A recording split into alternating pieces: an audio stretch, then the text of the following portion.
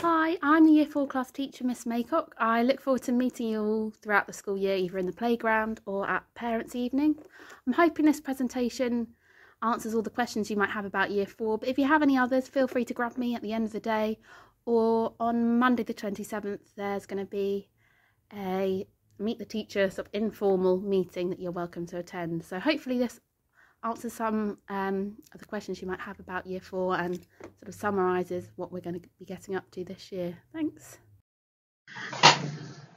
In year four, some of the main aims are promoting self-motivation and positive attitude towards learning. So I'll be really looking out for and encouraging growth mindsets in the children and they've been really working on thinking positively about their work, especially in English and maths.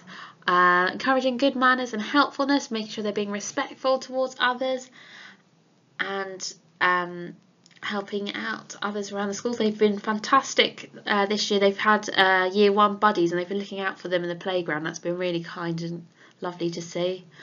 Um, developing organisational skills and presentation. So as they're getting older, encouraging them to, to take more greater responsibility for their learning and use a bit initiative a bit more. Focusing on our core skills in English, Maths and Science, seeing what we can do to develop them, especially with maths times table knowledge and English spellings. And they should all be confident with like capital letters and full stops and basic punctuation by the end of year four.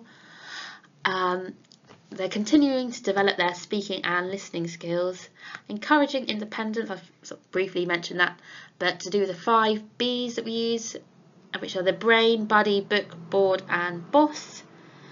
So having a think about have they used the four others before they come and ask a teacher for help and just making sure they're prepared ready for year five and six. So this is a sort of brief overview of what we'll be doing in year four. Um, each half term we'll be covering a different theme and there'll be a curriculum map for each one. Uh, at the moment our theme is the Romans, that links to history, but we've also linked it to geography where they're finding Italy and Rome on maps, linking it to PE where they were uh, they became Roman soldiers. We'll link it to some artwork we'll be doing and it links to our English text we're doing. So each term our topic will link to our English work as well. They're carrying on with the Read Write Inc. spellings this year but they do not have the logbooks anymore. We've got rid of the logbooks this year so the spelling rules that we learn in school they'll just do on Readywriter when they're at home but it will still be the same uh, system and structure to last year and I'll explain a bit more about that on the homework slide.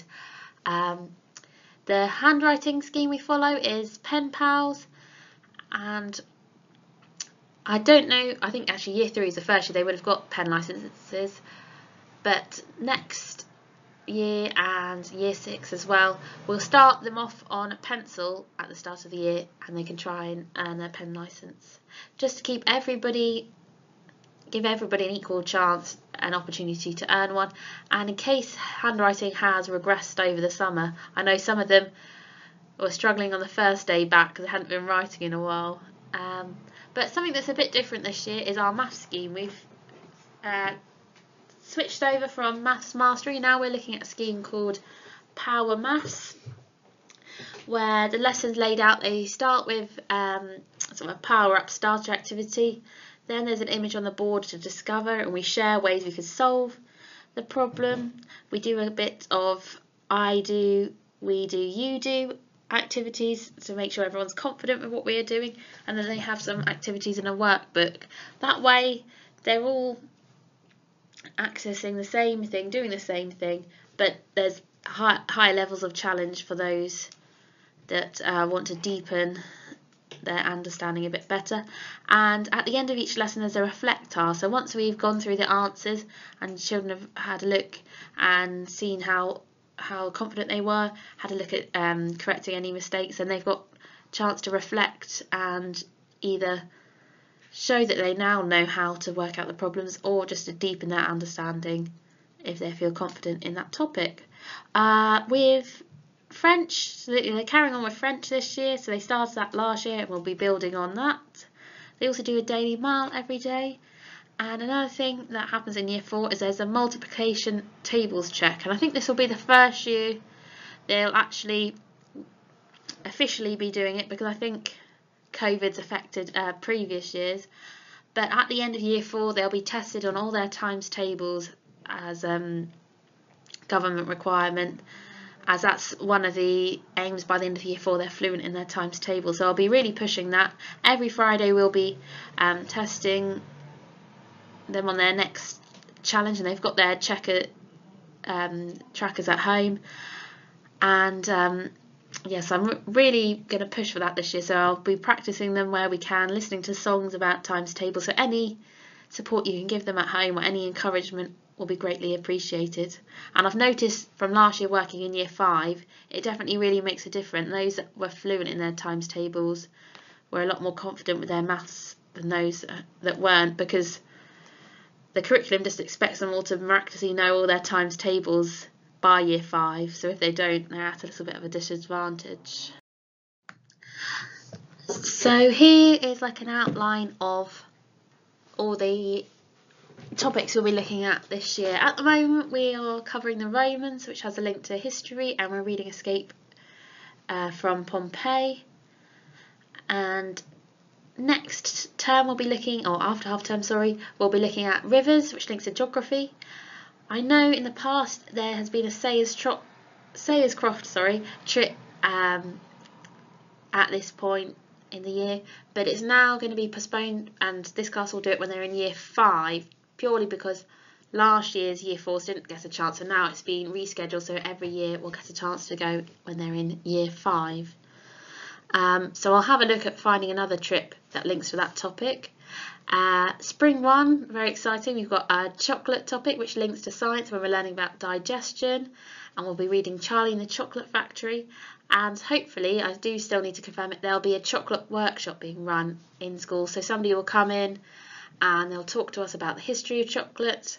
We'll be learning a little bit about the Mayan culture as well in our history lessons and they'll hopefully get to make some chocolate. I'm looking forward to that uh, topic, so I'm sure the children are as well.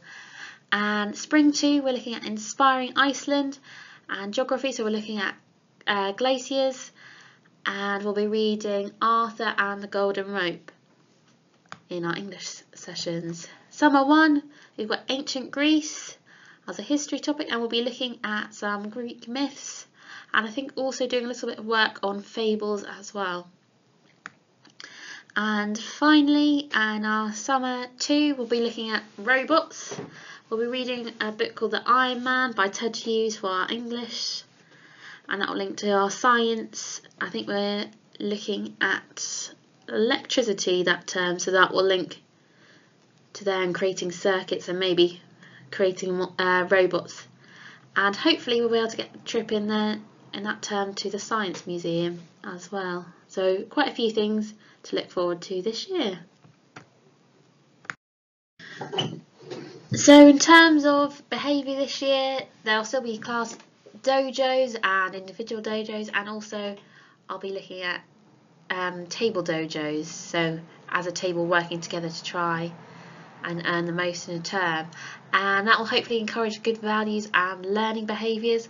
I also try and do each Friday morning when they don't have collective worship a um, class celebrations assembly and that will be when I can award children with um, mathletics and redo writer certificates. So if they've been on there they might be getting some dojos and any pen license being awarded and that will help to sort of, uh, boost them as a class and as individuals and motivate them to work hard. And following on from that there'll also be something called the extra mile board this year which is something new that we've um, started at St Mary's and that's to recognise children who are going above and beyond. So that might be getting their homework done the night it's set, putting their hand up in lots of different lessons, helping uh, tidy up around the school without having been asked, things like that. And we're looking, we've still got the uh, six or is it seven R's now, I think. Uh, ready, responsible, respectful, resilient, resourceful, risk taker, and um, but the main focus this year is on ready and responsible and respectful. Those three R's are our key focuses this year. So any Golden Achiever certificates this year, that will be what we'll be looking at for children who are showing that they're ready to learn, they're taking responsibility for their learning and they're being respectful as well. And the traffic lights are no longer a thing, but if there are cases where children are showing um, unexpected behaviours in school, there'll be a lot of restorative work done with them, having chats with them, talking about how we can address the problem and how we can go about resolving the problem and ensuring it won't happen again. But hopefully we won't have to have too many of those this year. So reading this year, I'm sure it's the same as last year. Aim to read five times a week and get it recorded in reading records. But this year, and maybe they did also in year three, they're allowed to add comments in themselves. I understand as they get older, they're probably reading a bit more independently and it also frees up your time a bit more. So maybe if once or twice a week you're listening to them read, the other times I'm happy for them to write the comments in themselves and listen to themselves read. And it'll be the same with the green uh, for five comments, yellow for one to four, and a red mark, zero comments. But, but hopefully there won't be many red marks this year. Uh, they have their sign day where they can change their reading books and I'll aim to listen to every child read or myself or the teaching assistant will try and listen to every child read about once a fortnight. There'll be a couple of children that will get a chance to be read with every week but the majority of the time it'll be once a fortnight and uh, every half term I'll get them to do some reading comprehension activities and I'll assess their reading level based on that and that will be the chance for them to move up a stage. So homework this year, uh, for the spellings, our spelling rule will change every fortnight. So every other Monday there'll be set a reading, write, reading writer homework. Sometimes there may be a couple of exercises on reading writer because one will be um, sort of a one star level, two star and three star and the children can choose their own from there. So there might be a entry, core and exit I think they refer to on there. So they can choose a level of challenge they think they're at. And I've also put on Ready Writer our common exception words for this half term. So every half term, I'm sure you're familiar with um, the system, they have a new set of about 13, 10 to 13 words they need to learn for the spelling challenge. And then if they get them all right, they'll get a certificate. And another piece of homework they get is maths and that's on Mathletics and I'll set a couple of activities every week for them on there.